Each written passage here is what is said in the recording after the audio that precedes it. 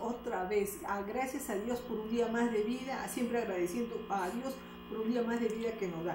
Vámonos con el horóscopo rápidamente y vamos a ver qué traen las cartas para el día de hoy. Veamos para los amigos de Aries se vienen grandes cambios en 10 días a lo más. Sale, dice, guarda silencio, que no comentes tus cosas. El mundo estará a tus pies, Aries, de aquí a 10 días. Algún suceso inesperado, beneficioso para ti, un viaje, un cambio, pero de todas maneras se va a dar.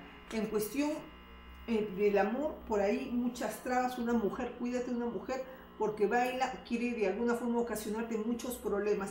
Esto es más o menos en unas horas, pasando las 10 de la mañana, eh, alguna llamada, pero de alguien que no te va a agradar mucho, así que alerta. Vamos con los amigos de Tauro. Tauro sale con llanto, florecimiento de llanto. ¿Por qué? ¿Qué pasó, Tauro? En relación al amor, estás pecando.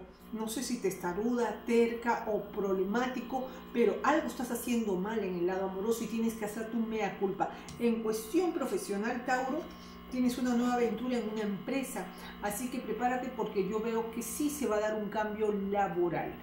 Vamos con los amigos de Géminis. Géminis sale, mira las cartas de estrés, mira la carta de estrés. Esto indicaría que Géminis se encuentra atorado, fastidiado, incómodo y como que no sabe qué hacer Géminis en este momento. De todas maneras, siempre esta carta de la totalidad indicaría una mano que siempre se te va a extender porque eh, nunca estás solo. Abundancia de agotamiento. Mira, por más cartas que te saco.